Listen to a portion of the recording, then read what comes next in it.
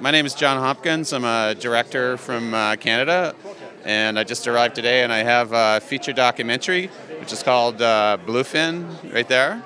Um, it's about giant bluefin tuna, and uh, I spent five years making the film.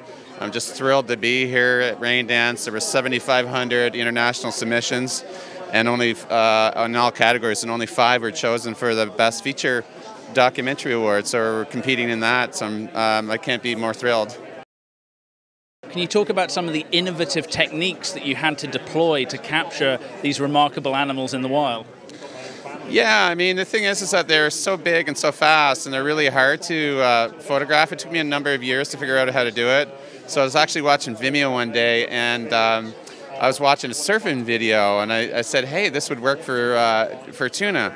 So I actually um, developed a uh, underwater housing I had built in Germany, and uh, we could shoot with it just under the surface, so you can see like a glass surface. So we went out at night, just as the sun was coming up over the horizon, and shot them right with about a foot down, and we had an underwater diver, and I was on the boat.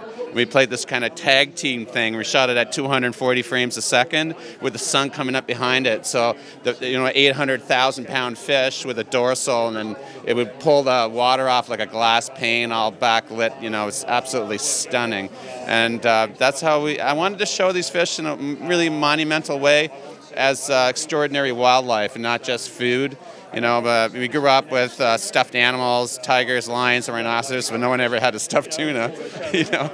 And then we kind of bonded with that, you know. And then we, we always think of tuna as uh, as food, and, and, and we, we don't have any kind of emotional connection. So what this film does is really uh, shows them in a completely completely different light, and that's kind of like uh, you know we had Sharkwater, we had the cove, we've had uh, blackfish.